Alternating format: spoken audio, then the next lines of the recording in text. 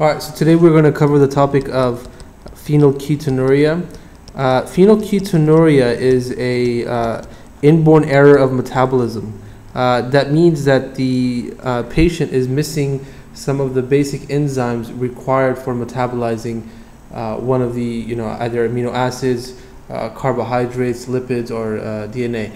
So in, in phenylketonuria, this is related to inborn error of metabolism uh, with regards to the amino acid uh, phenylalanine.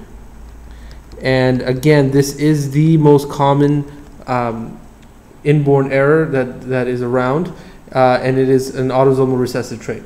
So uh, before you know, before we can understand uh, how everything works, it's, it's kind of good to just kind of talk about how phenylalanine is degraded by the body.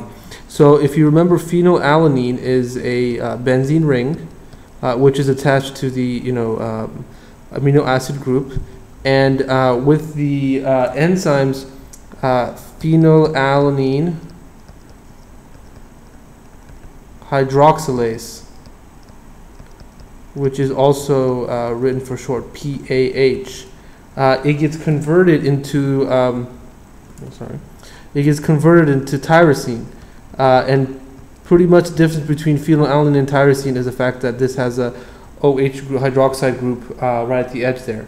Now, um, it does require a cofactor. The cofactor is uh, tetrahydrobiopterin, which is uh, written as uh, BH4 for short. So this is a cofactor. It's not a it's not a protein like the phenylalanine hydroxylase. And uh, this actually does need to be recycled. And there's enzymes, you know, for its recycling. Uh, every time it gets used. And so um, the primary uh, area where you will have a problem is going to be either with this enzyme here, the phenylalanine hydroxylase, or with the BH4. So both of these have been associated with uh, problems. Now, here's what happens if you have too much. If for some reason you have greater than 20 milligrams per deciliter uh, in the blood, then these will become ketones. Uh, and the, and the, the, the phenylketones, there's two primary ones, uh, phenylacetate and phenylpyruvate.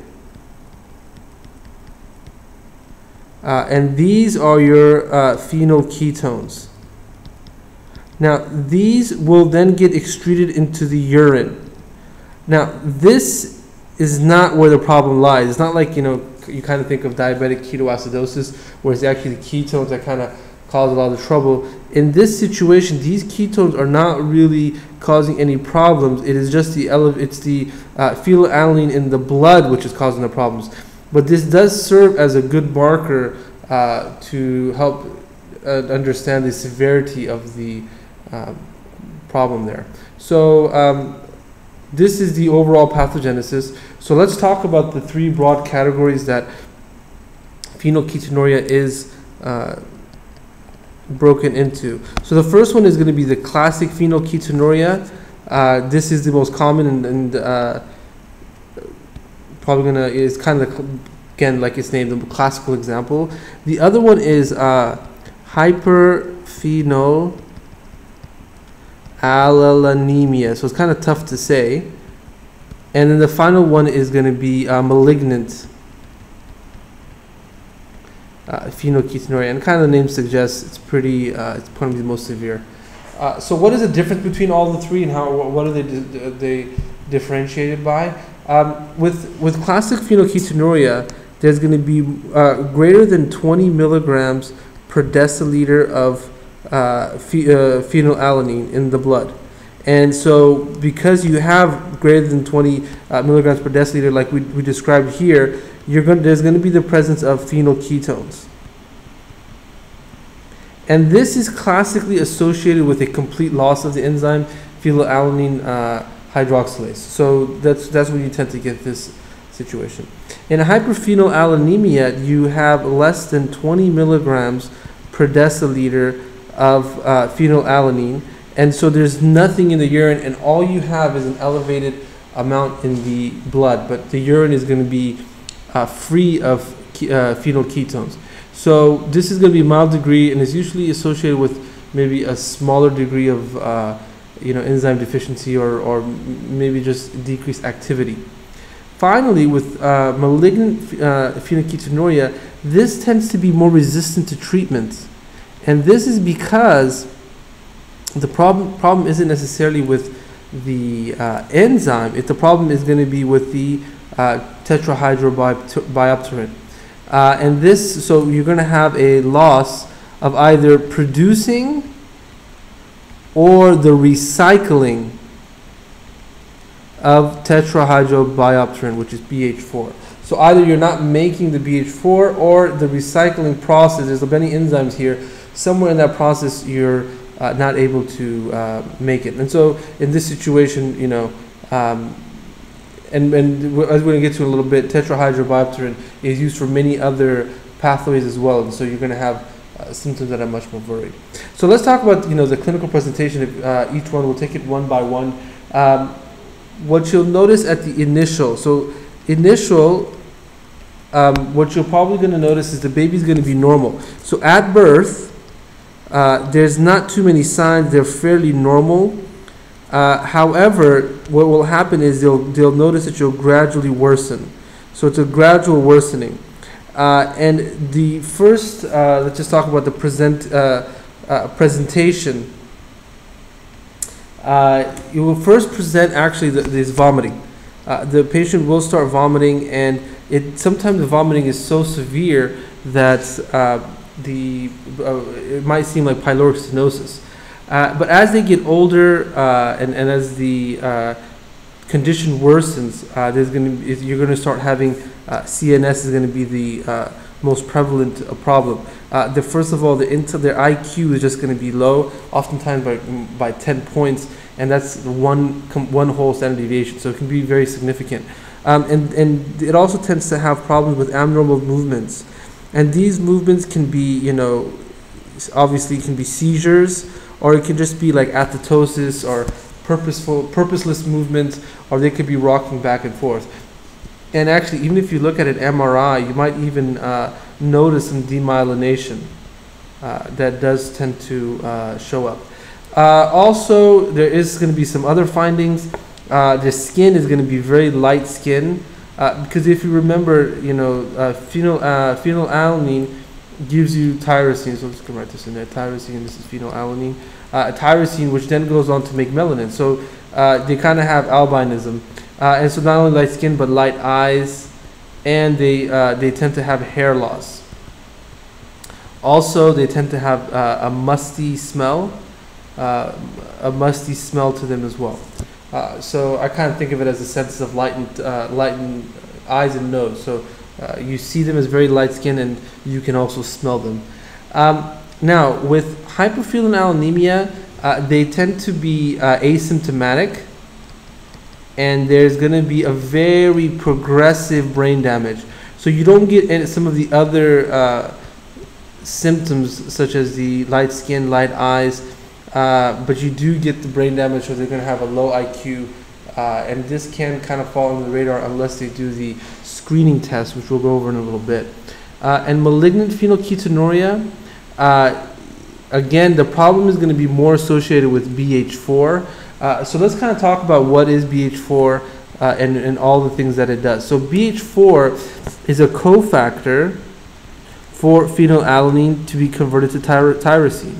It's also a cofactor for tyrosine to be converted to dopamine and uh, uh tryptophan to be converted into uh, serotonin and arginine to be converted to nitric, nitric oxide synthase enzyme to get incorporated into that enz, uh, enzyme. So you can see that the, the with BH4, the symptoms would be much, much more. And the reason why they call it malignant is because just by inhibiting phenylalanine, it's not going to take care of some of the other problems. So they called it malignant because it was kind of refractory to treatment. Um, so clinically, uh, what you're gonna what you're gonna find uh, is um, so let's just write that here. So clinical, uh, what you'll find is going to be deterioration, even with the dietary changes that we're going to talk about. So you you change the diet, you restrict uh, the phenylalanine, but they still uh, tend to have these uh, changes. And this is going to be you know the CNS findings Uh, whereas with classic phenylketonuria, if you kind of notice, it was more movement. Uh, here, there's actually going to be hypotonia, and uh, this is going to be first seen by you know the they can't uh, hold their head up. Also, because if you remember here, uh, dopamine is responsible for many things. First of all, it's responsible for inhibiting prolactin, so you'll actually have an increase in prolactin levels uh, as well. And of course, extrapyramidal symptoms, you know, Parkinsonian-like symptoms. So um, what generally is done is if a patient it does have high uh, phenylalanine levels, they will immediately check the uh, BH4 levels. Uh, however, there is other types of diagnostic tests besides just checking the uh, levels. It's called the BH4 loading test. And so uh, what you do here is you uh, give the patient 20 milligrams per kilogram of BH4. And then you, then you measure the phenylalanine level. And if it normalizes uh, within four to eight hours, then it's going to be, it means the problem is with BH4. If it doesn't normalize, then it's uh, probably not the issue. And so the treatment does become a little bit more complex because with uh, regular phenylketonuria, you know, you could just give, uh, you can just restrict phenylalanine, but in this situation, uh, you need to uh, include, you also need to give the patient dopamine uh, and uh, serotonin and all these. You take all these into consideration, as well as constantly measuring the prolactin level uh, to prevent, you know, hyperprolactinemia from the uh, lack of dopamine. So now, um, how would you treat this? So let's talk about treatment.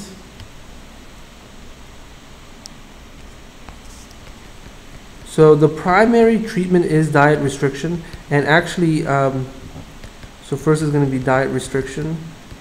Uh, there actually are some commercially available products which remove all the phenylalanine because again the problem is with phenylalanine uh, ele elevating. The higher the phenylalanine that tends to cause more brain damage. So the first thing is going to be diet restriction with phenylalanine, and then you want to give. So you want to decrease phenylalanine. You want to give a tyrosine supplement as well.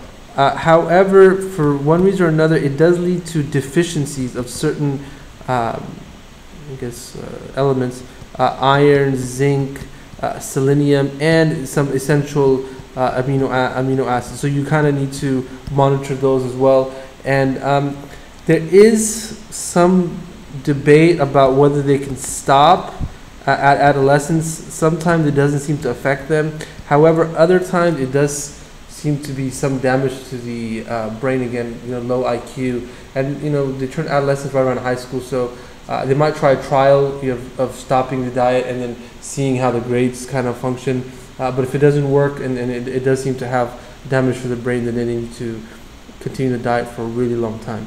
Uh, and there is a problem, you know, maintaining this diet. A lot of times, you know, children are kind of defiant and uh, they don't want to hang on to the diet, and then you, you notice a decrease in IQ level after a while. Uh, the other thing that they also need to be aware of is they, they cannot eat the sweetener called aspartame. Aspartame is a sweetener found in soft drinks, uh, some vitamins, and even medications. So anything that has this artificial sweetener can't do it. Uh, there is a drug called uh, sapropterin. Uh, what this is, this is the uh, BH4, so tetrahydrobiopterin uh, cofactor, and it does seem to help certain patients but not others. And the whole idea seems that if there is some residual phenylalanine hydroxylase activity, this will work. But if the phenylalanine hydroxylase is pretty much useless, then this doesn't tend to work at all. So depending on you know how severe the case is, this is an option. Uh, and the other thing that you might want to give, especially if they're not able to hang on to the diet really well, is you can give the large neutral amino acids. Uh, these are the amino acids such as uh, arginine, oops, okay, sorry about that, uh, arginine, methionine, uh, threonine, so, uh, and there's many more. And the, what this helps is because this competes, this tends to compete with phenylalanine for going into the brain. And so even if the patient isn't maintaining their diet very, very well, they're not being strict with it, uh, the, the phenylalanine won't, as much of it at least, will not be able to go to the brain, and then um, you're going to uh, kind of prevent some of the brain damage. Uh, there is, uh, with pregnancy, so uh, pregnancy, uh, it is also very, very important that the mother uh, monitor her phenylalanine intake, and that's because if she doesn't monitor it, uh, there's an increased risk of mental retardation for the child. Uh, you know, it's also associated with uh, microcephaly, um, also with congenital heart disease and intrauterine growth restriction. So it is associated with that. So they need to pretty much do a, maintain a um, phenylalanine-free diet so that you know it doesn't affect the baby. Finally, what is the prognosis? So um, what can these patients expect if it's detected within the first month and properly treated? Um, they could actually uh, have a normal IQ. And this is why currently there, you know, all babies that are born in the U.S. and many other countries are uh, they tested for phenol, uh, phenylketonuria right away because it is preventable form of uh, mental retardation. So uh, th- this has prevented majority of the case uh, from um, from uh, getting worse. Now, um, even with treatment though, sometimes even if they are treated, there is a minimal decrease in IQ, and this is especially if uh, you know they, they, they it gets above 360 um, micromoles per liter. So this this has been shown for that. Um, and actually, there are, there is some psychological disorders such as uh, agoraphobia and other phobias and kind of you know personality characteristics uh, you know uh, that has been shown with that. And um, also, counseling is very important uh, especially as these kids grow a little bit older and they kind of have to monitor their own uh, diet, it's very important that they understand um, how you know what, why they why they should be watching their diet and you know just why it's why it's so important to maintain the diet so that they don't fall back and just you know start eating the you know uh, incorrect food and uh, harming themselves. So hope that was helpful. Hope you guys enjoyed. See you later.